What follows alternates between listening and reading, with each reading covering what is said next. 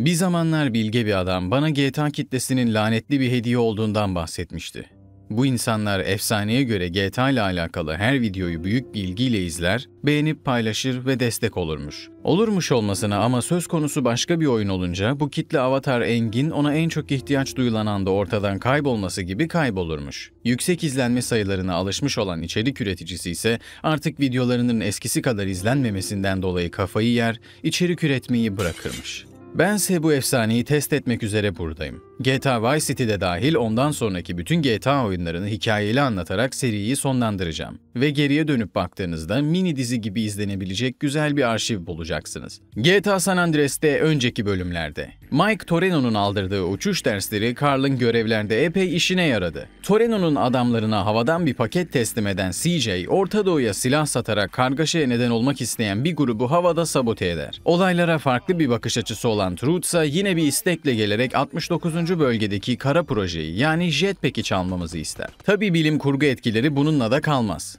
Birçok insanın uzaylı kanı olduğunu düşündüğü yeşil yapışkan madde kavanozunu da çalarak Carl eski dostunu uğurlar. O sırada Woozy yeni mekanını açmış, Las Venturas'ta Carl'ı beklemektedir. Fakat burası mafyalar tarafından yönetilen bir şehirdir. Woozy Moon'un adamları bu eşkıyalardan birini yakalar ve Carl onu oldukça yaratıcı bir şekilde korkutarak ailesinin adını öğrenir. Bir dizi soygun görevinin ilki olan patlayıcı bulma görevinde Carl, maden ocağına giderek dinamit çalar ve bunları Woozy'ye teslim eder. Bakalım kumarhane şehri şehri Las Venturas'ta bu bölümde bizi neler bekliyor? Unutmayın, Venturas'ta olan Venturas'ta kalır. Carla Woozy poker oynarken çalışanı elinde iki çiple gelerek göz atmasını ister. Woozy daha çipleri eline bile almadan birinin sahte olduğunu fark eder. Hadi ya nasıl diye sorguladığınızı duyar gibiyim. Eğer çipler normal olsaydı adam neden bunu getirip bir göz at diye önümüze atsın ki? Bu arada Wuzimu'nun Carla ben bizimkilerle oynayınca hep kazanıyorum sen bana uğursuz geldin demesinin sebebi de adamlarının ona kıyak geçerek her zaman kazandırması. Önceki bölümde atladığım bir ara sahne detayını paylaşmak istiyorum. Sahte çiplerin Sindakko ailesinin plastik fabrikasında üretildiğini öğrendiğimizde kumarhane ortağı olarak bu sorunu çözmek bize kalıyor. Fabrikaya arkadan girdiğimde oyunun gözüme soktuğu testereyi herhalde bu görev için lazım diyerek aldım ve içeride beni komik Rus aksanlı bir adam karşıladı. Hey, who's this prick?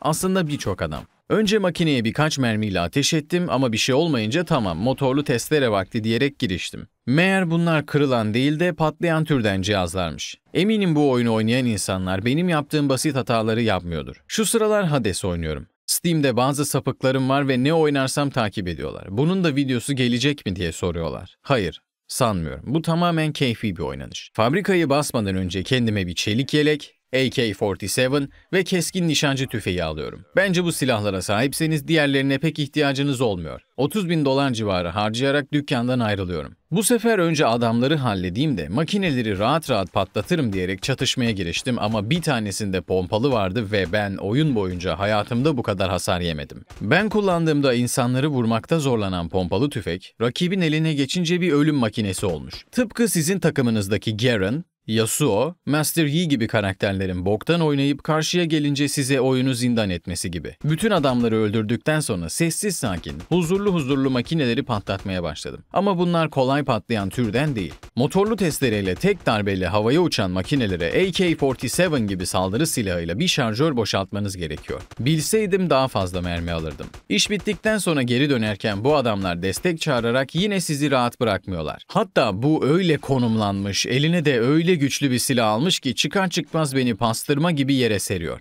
Sadece bir görevi bile 3 kez oynarsan tabii 10 bölümde bitiremezsin. Oyunun sunduğu yolculuğu atla güzel bir sistem ama silah alayım da öyle atlayayım derseniz bunu yapmanıza izin vermiyor. Seve seve gideceksiniz o yolu tekrardan. Silahlan, makineleri patlat, desteğe gelenleri öldür ve kumarhaneye dön derken 20 dakikam gitti bile. Bu arada çipleri üreten makinelerin adı Chipmaker 4000. Doofenshmirtz'ün boktan icatları gibi. Truth yine arıyor. Bırak artık peşimizi be adam. 60 milyon dolarlık projeyi çaldık. Uzaylı kanı çaldık. Daha ne yapalım sana? Bizden daha ne isteyebilirsin ki derken bazı insanları peyote safarisine çıkardığından bahsediyor. Bu peyote halüsinatif bir maddenin çıkarıldığı kaktüs türü. Söz konusu Truth olunca pek garipsemedim. Ama bir sorun olmuş. Tıpkı Hangover'ın ilk filmindeki gibi kendisi Los Santos'ta bir Japon hamamında gözlerini açarken diğer iki kişi kayıp. Bunların başına bir şey gelmesin sen bir bak onlara diye bizden yardım istiyor. Paul ve Makker. Bu araçları görünce bunu yapmamak için kendimi zor tutarım ama sürücü sanki ya bir siktir git kardeşim dercesine aracını çevirince artık yapmamaya başladım. Hızlı giderim diye yolda araç değiştirerek spor bir araba alıyorum ama unuttuğum bir detay var. Salak kafam. İki kişiyi almaya gidiyoruz. Nasıl binsinler bu arabaya? Tabii yolda yine 69. bölgenin yakınlarından geçerek 5 yıldız polisi de peşime takıyorum. Adamların kafası hala güzelse muhtemelen çok korkacaklar. Düşünsene arkadaşınla eğlenmişsin bir gece, sabah bilmediğin bir yerde uyanıyorsun ve mekanı helikopterlerinden tut zırhlı aracına bir sürü asker basıyor. Öyle bir sıkıştırdılar ki beni sanki GTA 5'te iki tane trollün serverına geldim. Aracım patladı patlayacak ben hala görev peşindeyim. Neyse ki bu adamlar fazla uzaklaşmamış da görev yine bir yerlere sürmemi istemedi. Son zamanlarda sürekli söyler oldum ama yine söylüyorum. Bir hangover vakası yaşanmış. Peyote kötü olduğu için Pakker yanında hap getirmiş ve içkilere karıştırmış. Diğer kişi de hepimizin GTA Vice City Malibu kulübünden tanıdığı Kent Paul. Bu aktörün oldukça karakteristik bir ses tonu var. Pakker öyle bir otir çekmiş ki maalesef bacaklarını kullanılamaz hale getirmiş. Venturas'ta kumarhane işinde olan bir dostum var. Sen bizi en iyisi oraya bırak diyor Kent ve yola çıkıyoruz. Bu yolculuk güle oynaya olmuyor tabii ki. İşte her şey tecrübe. Bu sefer bize yetecek bir araçla gidiyorum. Bu bir müzik grubu sanırsam. Diğer elemanlar nerede diye sorulunca bilmiyorum. Yılanlar vardı bir onları hatırlıyorum deyince önce yılan çiftliğine sürüyoruz. Yolda Paul'un midesi bulanıyor. Pakkerse öyle iğrenç yemekler söylüyor ki adam en sonunda çek kenara ben kusacağım diye atıyor kendini aşağı. Oh, pull over now.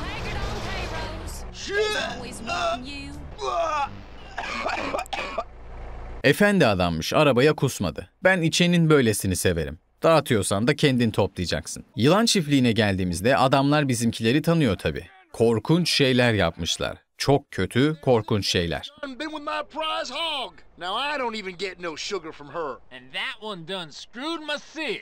I had a terrible aching in my grinds ever since.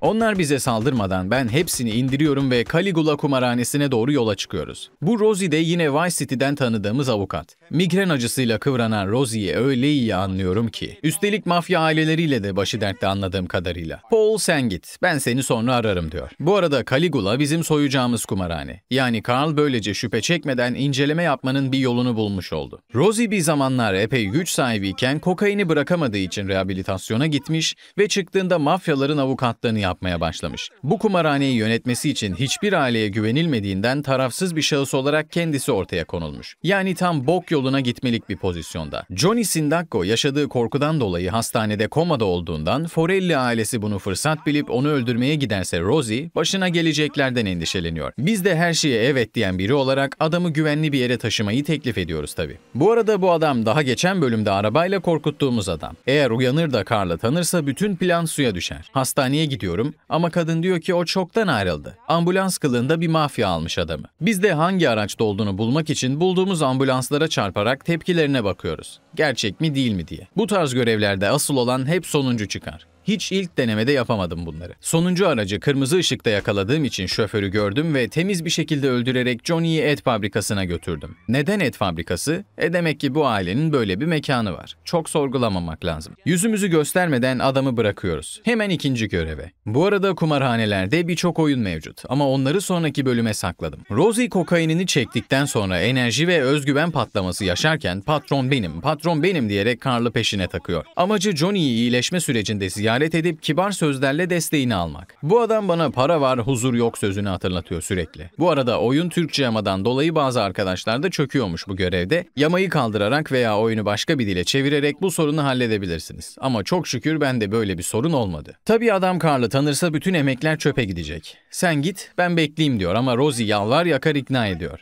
Ve beklenen olay.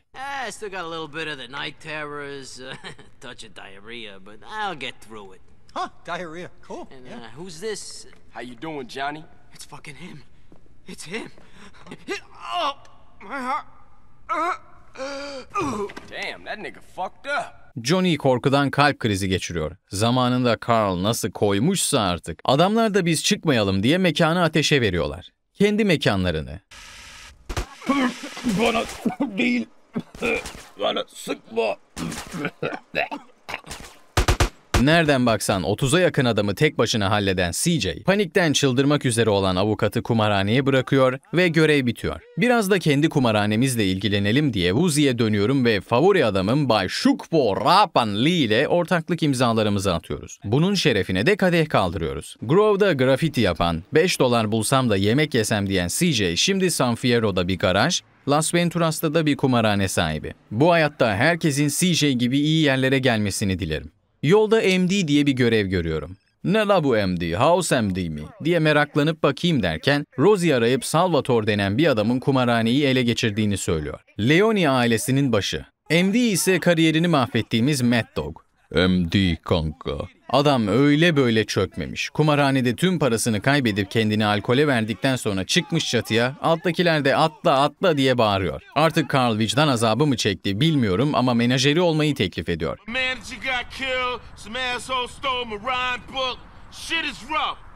All the kids like this Loco G or whatever the fuck his name is. Tabii kendisi atlamaya kararlı. Biz de kaburgaları kırılıp iç organlarına saplanmasın diye adamı kurtarmak için bir araç buluyoruz. Perspektiften dolayı adam düşerse buraya düşer diye aracı yakınlaştırdım. Bekliyorum.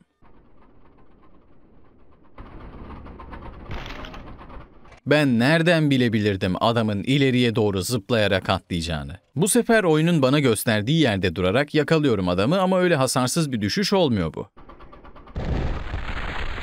Dikkatli bir şekilde sürerek hastaneye bırakınca ben iyileşince seni ararım diyor ve görev bitiyor. Carl, What?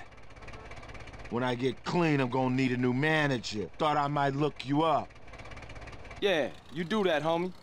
Burada birazcık spoiler aldım. Zamanında OG Lock için ne yaptıysak aynısını Mad Dog için de yapacakmışız. Oyunu hepiniz çok iyi biliyorsunuz. En az iki defa bitirmiş olmanıza rağmen hiç spoiler vermediniz ama arada böyle bir tane kaçmış. Olsun. Ben yine de bu tavrınızdan dolayı teşekkür ederim. Güzel bir manzara eşliğinde uçarken bir bölümün daha sonuna geldik. Beğendiyseniz like ve yorum atmayı unutmayın. Ha derseniz ki ben maddi olarak da destek olmak istiyorum, katıl butonundan üyelik alabilirsiniz. Kendinize iyi bakın. Bir sonraki bölümde görüşmek üzere.